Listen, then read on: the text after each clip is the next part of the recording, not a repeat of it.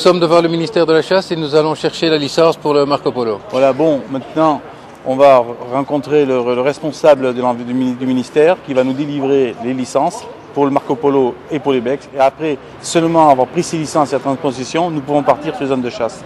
Car il est impossible de rentrer dans les zones ou de chasser ou même de posséder une arme sur le terrain de chasse sans cette licence. Il est très très content de vous connaître.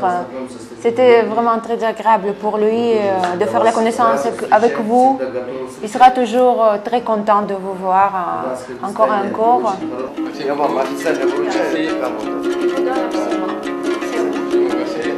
Là,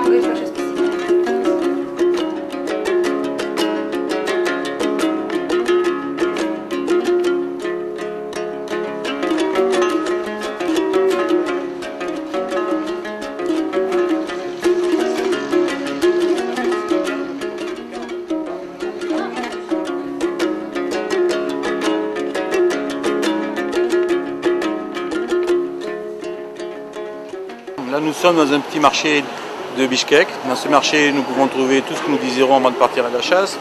Vous avez tous les produits d'autre qualité, des très jolis fruits, en provenance qui sont de, la production locale. Et vous trouvez tout ce que vous avez besoin euh, sur place.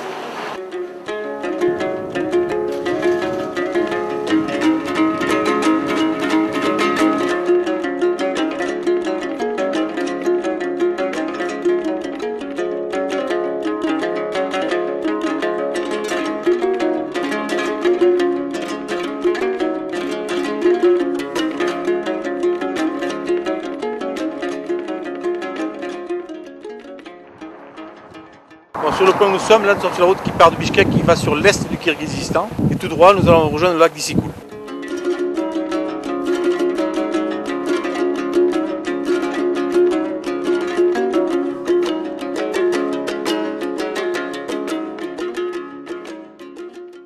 Nous voilà arrivés au poste écologique. Le poste écologique, là nous faisons enregistrer nos licences. Ces licences sont répertoriées à notre tour nous devons présenter les licences ou les trophées. Voilà. Maintenant, nous allons attaquer la route qui monte des 32 lacets. Nous arrivons au point au col à 4000 et quelques mètres. On a fait une assez longue route jusqu'ici. Maintenant, ça y est, on est dans la montagne, on est à poste frontière et c'est vraiment splendide. Hein. C'est très très très très beau paysage, magnifique.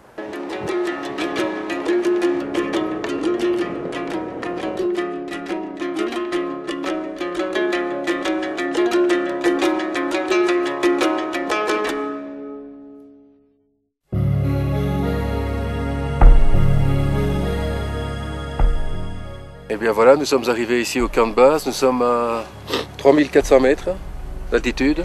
Et on va commencer ce matin, on part pour le Marco Polo. On part avec les camions. Et puis euh, une fois arrivé à 4000 mètres, on va monter à cheval.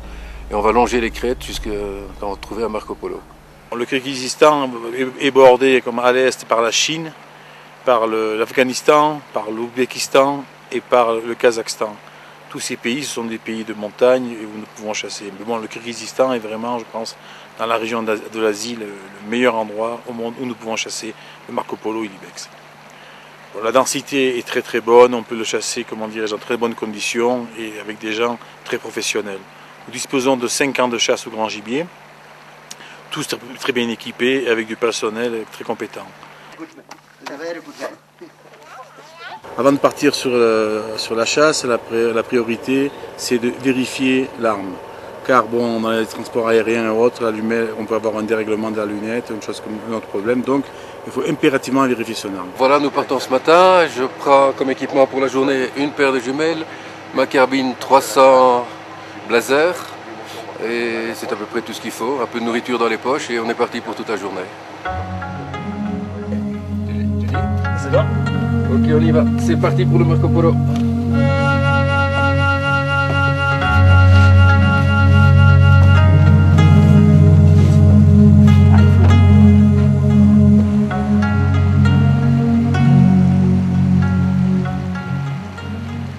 Le déroulement d'une journée de chasse, levé entre 4 et 5 heures le matin, petit déjeuner rapide. Nous partons en 4x4 sur la zone de chasse. Le, le trajet peut représenter entre 1 heure et 3 heures maximum. Après de là, nous partons à cheval, on patrouille à cheval dans les montagnes. en fonction de rencontrer des animaux que nous avons préalablement repérés.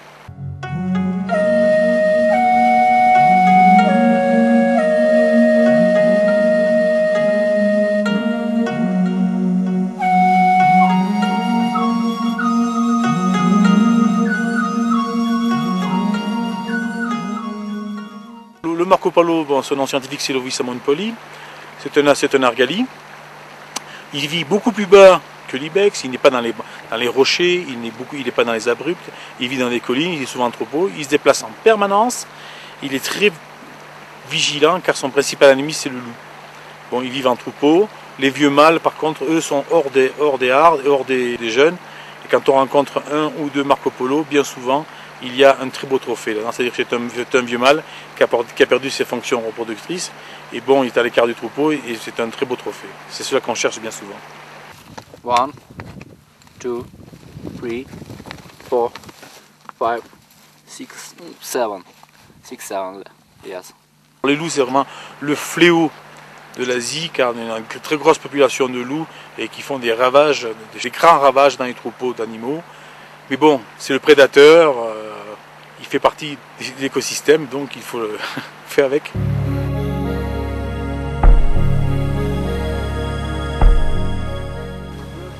Et bien après une bonne nuit de soleil, petit déjeuner.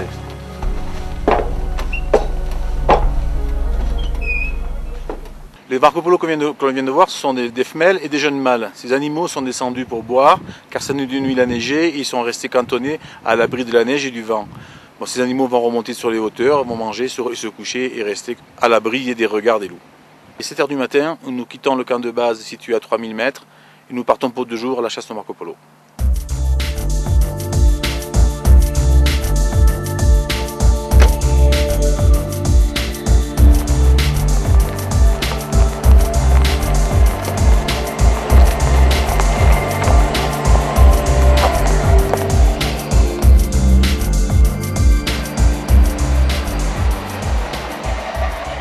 Cette zone-là où nous nous trouvons, c'est une zone franche. C'est une zone qui est interdite à tout accès aux communes des mortels.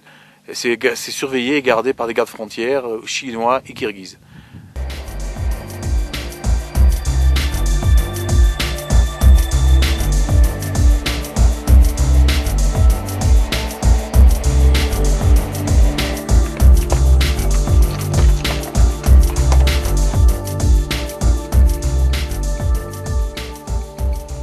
Le, trajet qu'on fait pour aller sur la chasse, on raconte plein de trucs fabuleux. Tout à l'heure, on a vu un troupeau de yak, maintenant un élevage de chèvres, de moutons, et un peu de tout. On voit de toutes plein de choses ici.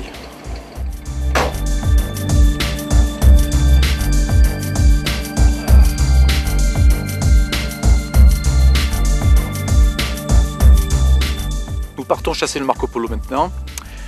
C'est une chasse qui va s'avérer difficile. Nous avons deux heures de cheval pour rejoindre la zone de chasse. Deux heures aller, deux heures retour. Les quatre heures. Ça fait du cheval.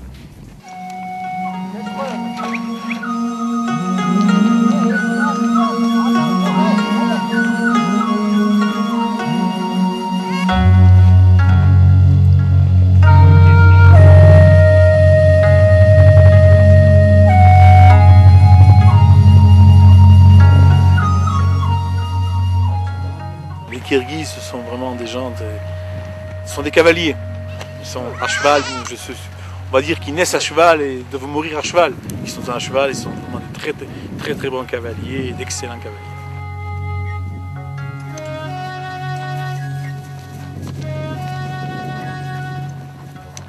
Là, on arrive quasiment à un point stratégique où il faut commencer à observer. Car la chasse au Marco Polo dépend surtout de l'observation. Il faut surtout être vu avant d'être vu. La technique que nous employons, c'est le repérage de très loin. Ils ont des vues d'aigle. Hein. Euh, une fois que les animaux sont repérés, c'est de voir la topographie du terrain, comment pouvons-nous l'utiliser, et surtout par rapport au vent. C'est le problème qu'il y a, c'est qu'ici le vent en montagne change très, très rapidement, donc il faut faire très attention. Il faut toujours être très très prudent, avancer à pas de velours, sans jamais être vu et senti. À la moindre lettre, ils vont détaler et on aura toujours 2 à 3 colline de retard sur eux. Une fois qu'ils sont partis, c'est même plus la peine de partir derrière. C'est même pas la peine. On les rattrapera et on ne reverra plus jamais. Ah Il y a des crottes un peu partout, donc ce sont des indices de présence, donc nous avons bon espoir.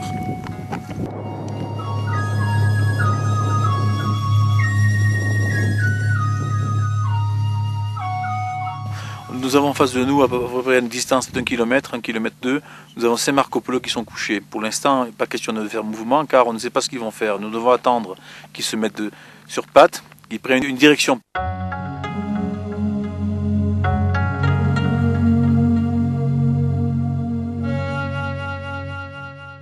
Les Marco Polo viennent dans des pentes gazonnées. Ces pentes-là sont très, vallonnées et donnent une possibilité de, vision énorme. Ils font très attention quand ils sortent sur les cols, parce que là, comment dirais-je, ils vont être attendus par des loups. Là. Mais bon, sinon, ils vivent à la limite des glaciers l'été pour, pour avoir de la fraîcheur.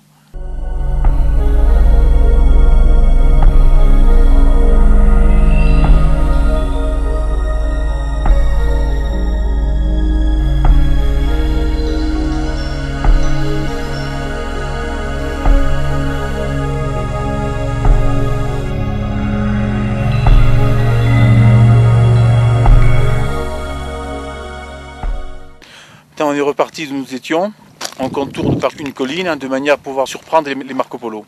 le soleil est sur le couchant, les Marco Polo se dressent et, descendent pour manger.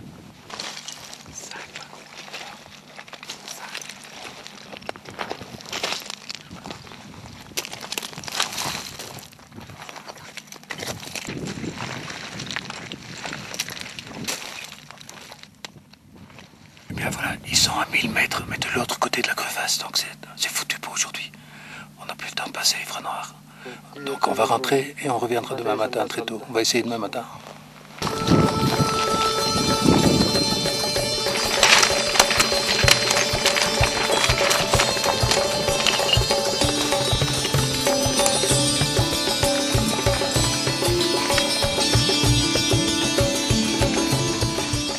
Ben, j'ai vraiment cru qu'on allait se casser la gueule ici. Hein. C'est tout juste qu'on y est arrivé.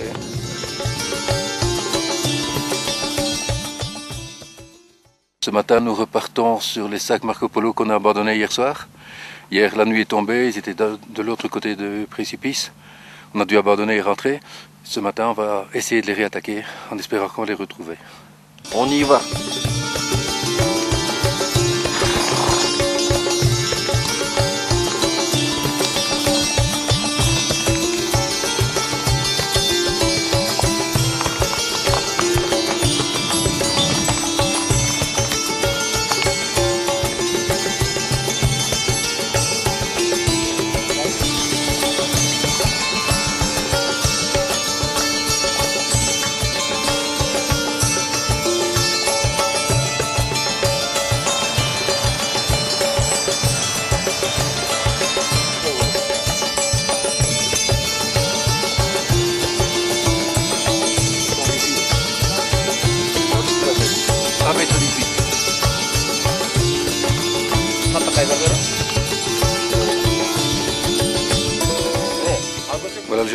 qu'on espère trouver. Celui-ci fait 1m18.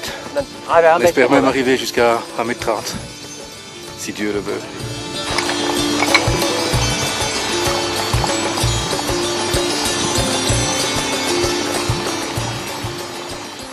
Voilà, nous sommes arrivés à 3800 mètres.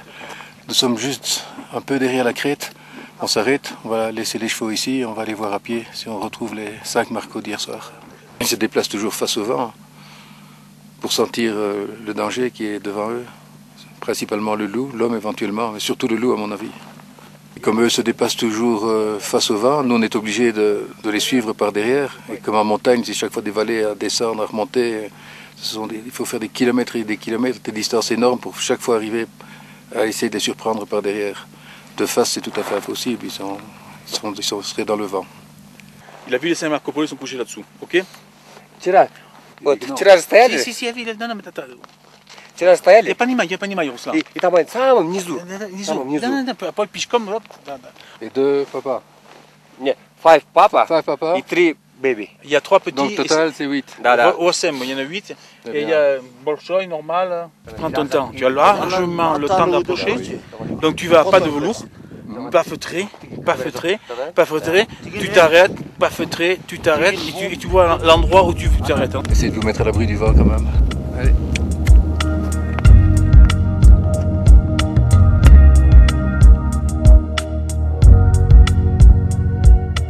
C'est raté.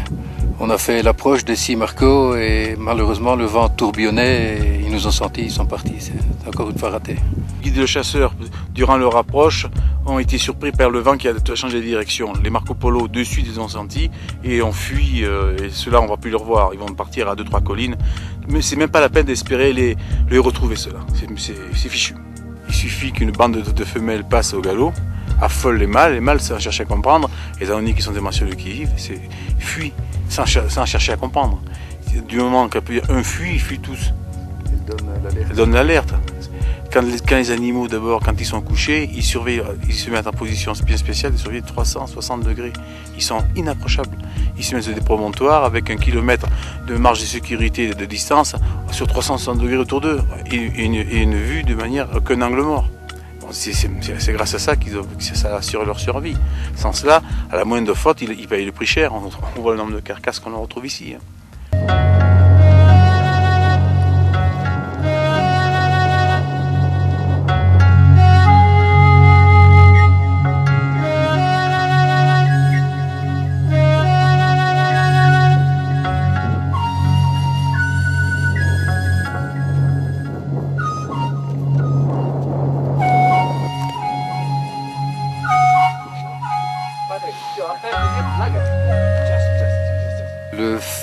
De chasser le Marco Polo permet de rencontrer des populations qu'autrement on n'aurait jamais l'occasion de rencontrer. Euh, on loge avec eux dans des petites bergeries, c'est eux qui nous font manger. Euh, en dehors d'un voyage de chasse, je ne vois pas comment on pourrait vivre des expéditions pareilles. Bien, nous avons passé la nuit dans une bergerie là, sur la zone de chasse. Cette bergerie nous sert de camp volant, de manière à nous couvrir un maximum de territoire quand lorsque nous chassons. Nous disposons d'environ une dizaine de, bergeries de ce style, afin, comment dirais-je, d'optimiser les chances de rencontrer un bel, animal. Bon, maintenant nous allons repartir sur la zone de chasse et en espérant de, de concrétiser aujourd'hui notre euh, Marco Polo.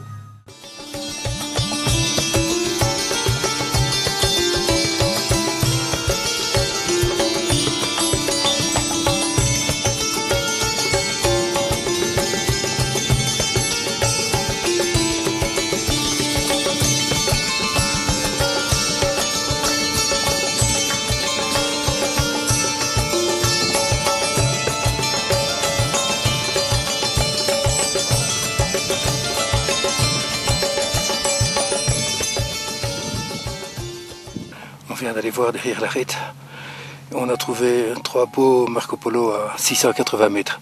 Donc on va essayer de les contourner à, bon vent. Espérons qu'on va y arriver. La difficulté du tir en, montagne, c'est qu'on tire à de très très très grandes distances, 300 mètres. Et il y a souvent beaucoup de vent, ce qui fait qu'on a de l'œil qui, est mouillé. euh, la, carabine tremble avec les, les rafales de vent parfois. C'est- pas évident d'a- d'ajuster son coup. Au niveau technique, c'est un tir comme un autre. Il faut retenir sa respiration, ne pas bouger et tirer sur la détente lorsqu'on est tout à fait sûr d'être dans la cible. J'utilise une carabine euh, Blaser calibre 300 Magnum.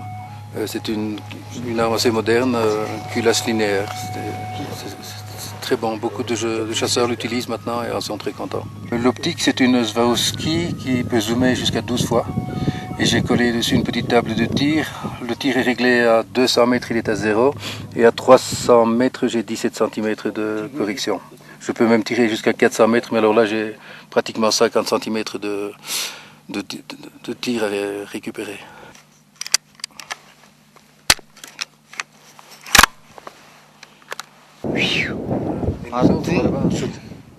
Allez, Марко Поло тук, тук, тук, а ты шут. Он туда тук, тук, встанет, что такое? Ты шут. Ruslan nous signale qu'ils sont trois et qu'ils sont couchés pour le moment. Donc on va en profiter pour essayer de les approcher encore un peu plus fort. Иван, смотри. Иван, большой, я буду смотреть. Большой. Я буду говорить большой. Ван или ш- ван шут, или ту шут. Не знаю, большой я скажу шут.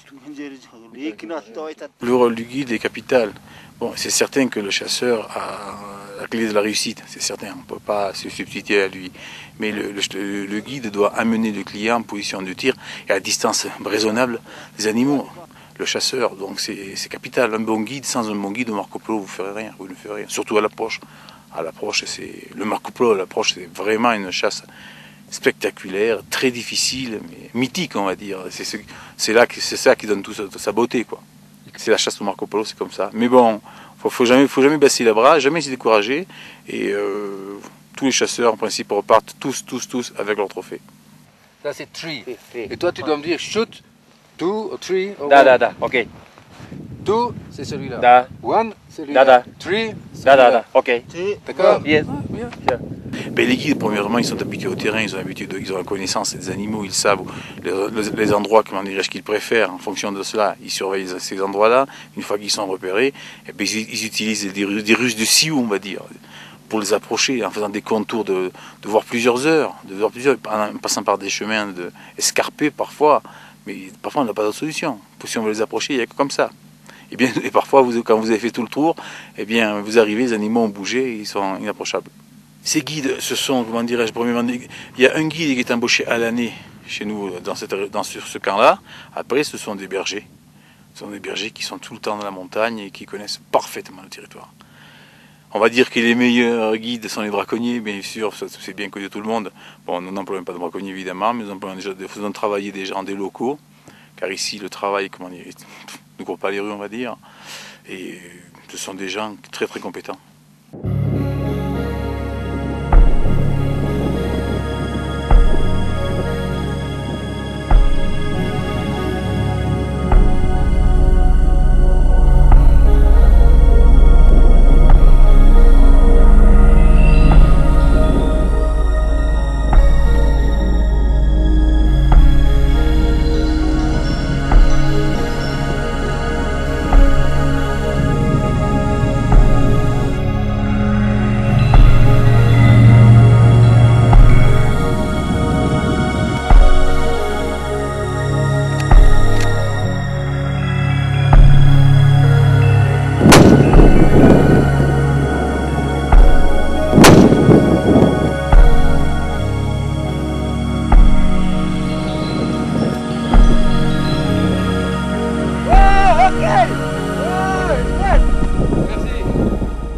Fait l'approche de ces trois marcos et en fait, on s'est rendu compte qu'il y- en avait six.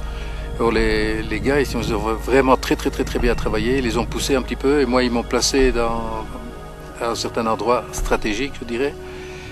Et quand ils sont arrivés euh, au pas, tout doucement, euh, on m'a indiqué quel était le meilleur et je l'ai tiré à environ 150 mètres. Je lui ai mis une balle dans le cou et puis je lui ai quand même encore mis une balle d'achèvement parce qu'il fallait vraiment être sûr de l'avoir.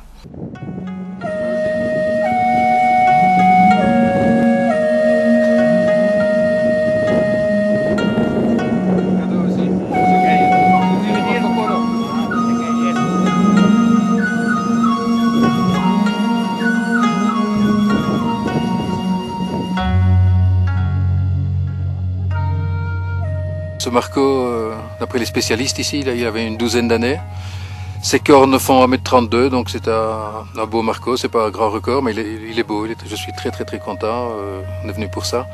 Ça a été une véritable aventure et tout ce que j'avais entendu dire sur la chasse au Marco Polo, mythique, dur, etc. Ça s'est vraiment confirmé.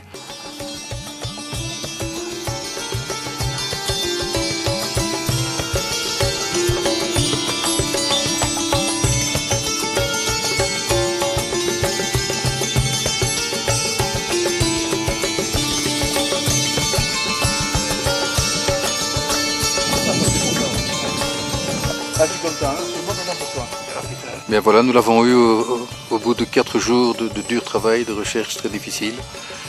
Et pour moi, ça restera quand même une aventure tout à fait exceptionnelle. Et je peux conseiller à tout le monde, euh, celui qui a l'occasion de le faire, qu'il aille au Marco Polo et verra ce que c'est. C'est fantastique.